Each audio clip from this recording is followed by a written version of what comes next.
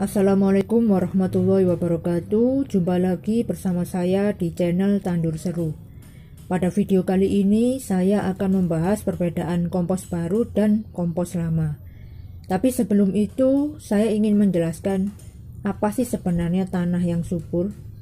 Secara pengertian tanah subur adalah tanah yang mampu mendukung pertumbuhan tanaman dan komponen di dalamnya Lalu apa hubungannya dengan kompos? Kompos sendiri adalah pupuk dari bahan organik yang memiliki kandungan yang mendukung tanah untuk menjadi subur dan sehat, sehingga tanaman bisa tumbuh secara maksimal, mikroorganisme pun di dalamnya sehat. Nah, yuk kita simak perbedaannya. Oke, kawan tandur, ini adalah kompos baru.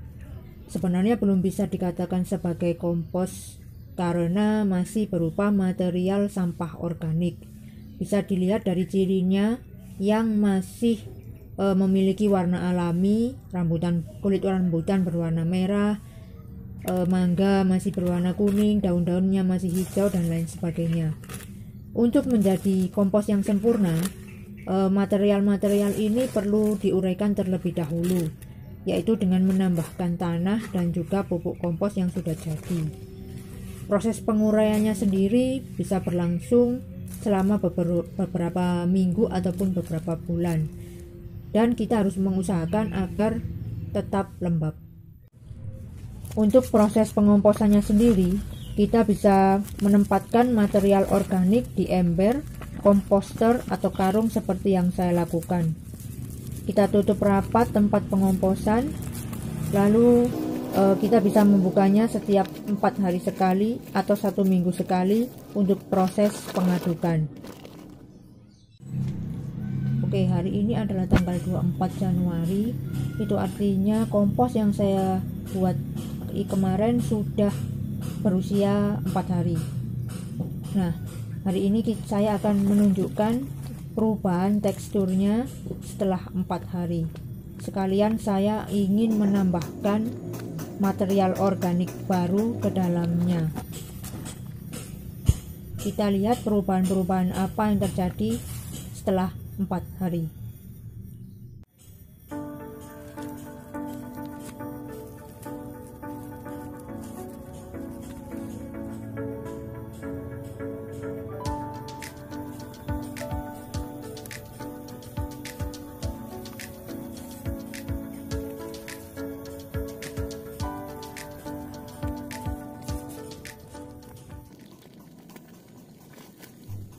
Oke kawan tandur. Ini adalah perubahan yang terjadi pada material organik setelah empat hari. Terlihat bahwa material tersebut berubah warnanya yang tadinya cerah menjadi kecoklatan. Beberapa materialnya pun sudah nampak terurai dan lapuk. Hal ini sesuai dengan fungsi dari pengomposan sendiri yaitu untuk menguraikan untuk melanjutkan prosesnya, perlu dilakukan pengadukan serta penjagaan kelembapan. Pada saat proses pengomposan sedang berjalan, kita tetap bisa menambahkan material-material organik baru ke dalamnya. Saya di sini menambahkan sisa-sisa sayuran seperti wortel, kulit mangga, kueni, rambutan, kacang, dan lain sebagainya. Kita bisa menambahkan material-material organik ke dalam komposter yang ada hingga komposter tersebut penuh. Untuk kompos yang saya buat kali ini tidak menggunakan kuhe atau kotoran hewan. Jadi yang saya masukkan ke dalam karung beras ini adalah sisa sayuran, kulit buah, daun-daun kering, dan juga sisa potongan tanaman. Pembuatan kompos dengan karung beras sebenarnya tidak terlalu berbeda dengan pembuatan kompos dengan komposter. Pada intinya, pengomposan adalah proses untuk menguraikan material-material organik itu sendiri menjadi kompos. Namun perbedaannya adalah pada proses pengadukan. E, kompos dengan menggunakan karung beras biasanya kita harus mengeluarkan e, sampah organik tersebut kemudian mengaduknya lalu memasukkan kembali ke dalam karung beras sedangkan untuk pengomposan dengan menggunakan komposter kita tidak perlu mengeluarkan lagi material organiknya karena biasanya komposter itu sudah dilengkapi dengan alat pengaduk tapi berdasarkan pengalaman saya membuat kompos tidak diaduk juga tidak apa-apa namun kita harus tetap menjaga kelembapannya jangan sampai e, karung beras atau material kompos di dalam karung beras tersebut menjadi kering karena jika kering, proses pengomposan tidak berjalan.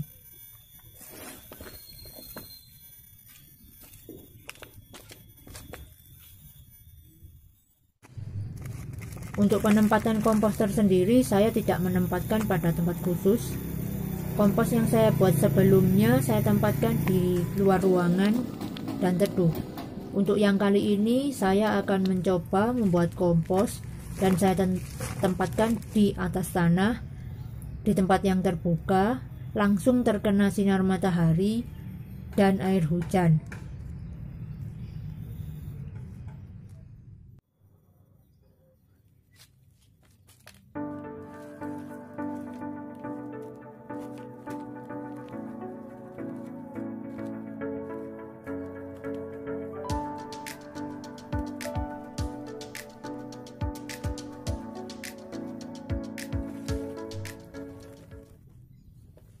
Lalu bagaimana dengan kompos yang sudah lama saya buat? Apa sih perbedaannya kompos yang baru dengan kompos yang lama? E, sebagai informasi, kompos yang saya buat ini sudah saya videokan di video sebelumnya dan usia dari kompos ini adalah sekitar tiga bulan. Saya membuat videonya di bulan Oktober 2019 sedangkan sekarang adalah Januari 2020 terlihat materinya semakin terurai dan menghitam. Jadi perbedaannya jelas sekali ya dari sisi warna tekstur semuanya sudah berubah. Pada kompos lama ini semuanya sudah mulai menghitam terus hampir tidak terlihat uh, semua materi-materinya. Beberapa yang saya masukkan itu di antaranya uh, daun ketela sama batangnya. Lalu ada kulit buah matua dan kacang. Itu beberapa yang akan saya campurkan nanti juga.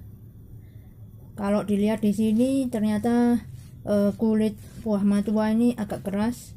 Jadi sampai sekarang dia masih uh, terlihat bentuknya tetapi sudah lapuk jadi mudah untuk dihancurkan. Sekarang coba kita bandingkan antara pupuk kompos yang berusia tiga bulan itu dengan pupuk kompos yang sudah saya buat sebelumnya. Jadi usia pupuk kompos yang saya buka sekarang ini sudah lebih dari tiga bulan.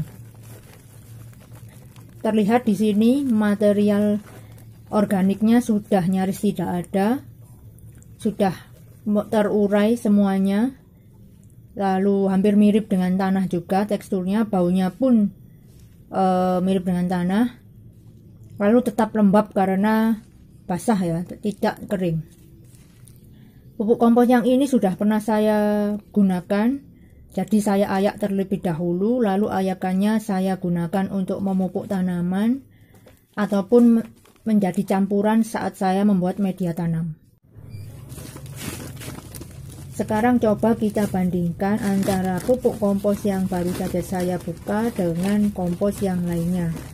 Usia kompos yang saya buka ini sedikit lebih muda dari kompos yang sebelumnya. Tidak sempat saya videokan. Isinya kebanyakan adalah kulit buah matua. Kulit buah matua ini tergolong agak keras, jadi proses penguraiannya itu sedikit lebih lama. Yang paling unik adalah ini, dulu eh, material organiknya itu termasuk buah matua yang masih ada bijinya. Dan ternyata setelah kita buka, biji-biji tersebut tumbuh di dalam karung kompos. Ini membuktikan bahwa kompos memang bisa digunakan untuk uh, pertumbuhan tanaman.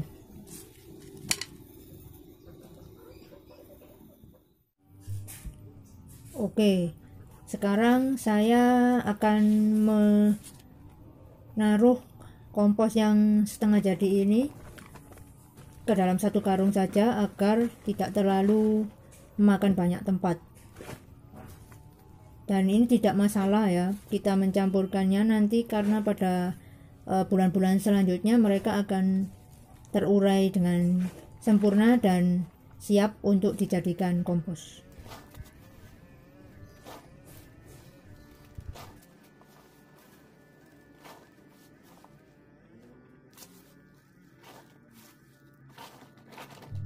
Oke, itu tadi penjelasan mengenai perbedaan kompos baru dan kompos lama. Dari penjelasan tersebut, kita bisa menyimpulkan bahwa kompos memang bisa digunakan untuk menyuburkan tanaman dan membantu pertumbuhan tanaman agar lebih maksimal.